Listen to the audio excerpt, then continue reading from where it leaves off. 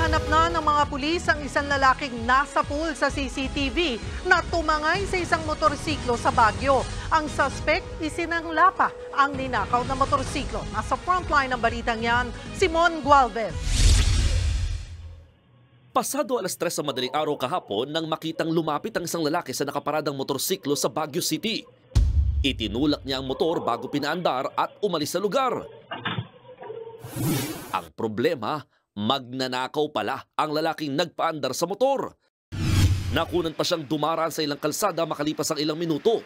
Tumanggi magsalita sa harap ng kamera ang may-ari ng motorsiklo. Pero sa kanyang mensahe sa News 5, sinabi niyang lumipas din ng anim na oras bago niya nadiskubre ang pagnanakaw. Dismayado siya dahil hinuhulugan pa naman niya ito. Lumantad naman sa mga pulis ang isa sa mga kasabot ng sospek.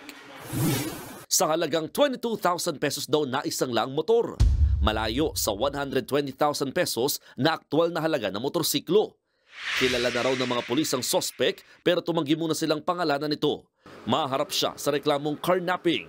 Maaari namang maharap sa reklamong anti-fencing law ang pinagsanglaan ng ninakaw na motorsiklo.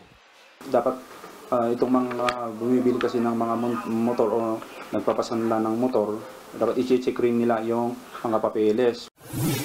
Nagbabalita mula sa frontline, Mon Gualvez, News 5. Mga kapatid Cheryl Cosim po, huwag maging huli at maging una sa lahat sa balitaan. Para sa tuloy-tuloy na talakayan sa Frontline, mag-follow at mag-subscribe sa social media pages ng News 5.